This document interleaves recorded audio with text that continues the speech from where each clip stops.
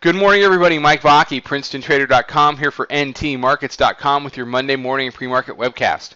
Okay, zoomed out 15 minute chart because I want to give an idea of how many floors there are, support levels, and generally where they lie.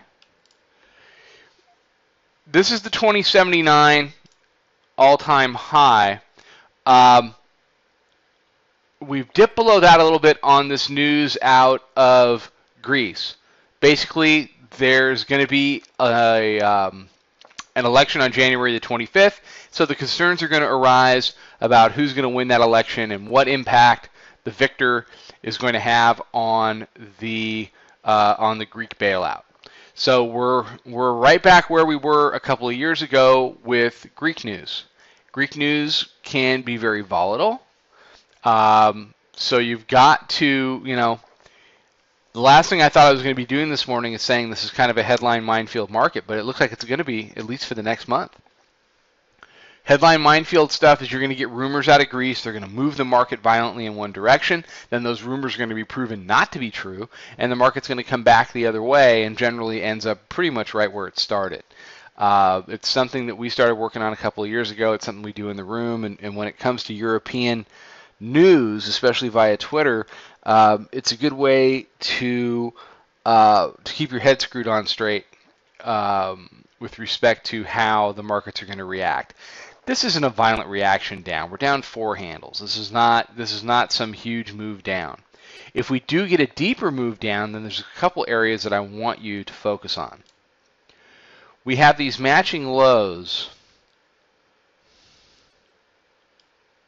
from Tuesday right here. 71, 72. If we break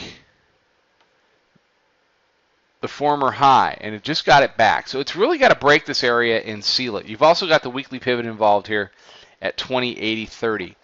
If we break there and we get below 74, I think we'll certainly do 71, 72. Beyond that, you get into a lot of these old floor areas that we did during the move higher. 63, 56, you've got middle band down 49.50 area, 36, 37, and the real launching point for this particular move, 2028. So there's a lot to look at. It's going to be a difficult move to, to, to buy the dip on because there are so many layers of support. So if we do get a red day this week, and you know, the issue is, is it going to be a red day or is it going to be the start of a deeper pullback? I think with seasonality and everything, the chances that it's just a red day are that's a lot higher percentage outcome. Um, the Bears typically need news, and they've got a source by which they can generate news, either real or rumor, uh, with respect to Greece. So I would expect much more of a two sided market than we've seen for the last five or six sessions. All that said, we are still in holiday trading mode. Here's a daily chart. So we put in highs on, on, on Friday, 2088.75. We've backed off those a little bit, but we're still well above middle band, well above the nine day.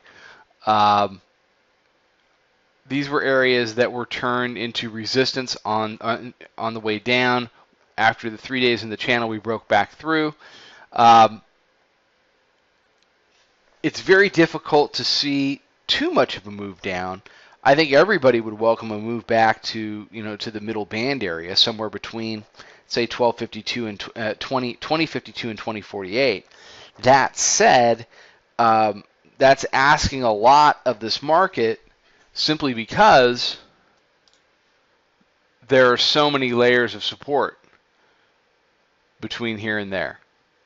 Um, anything is possible, but with the slow week, you've got to give your nod overall uh, to the Bulls. Okay, so everybody have a fantastic day. Follow us on Twitter at Princeton Trader. Check out the website, princetontrader.com. Come check out the chat room. I'll be back tomorrow morning with another webcast. Trade them well, everybody.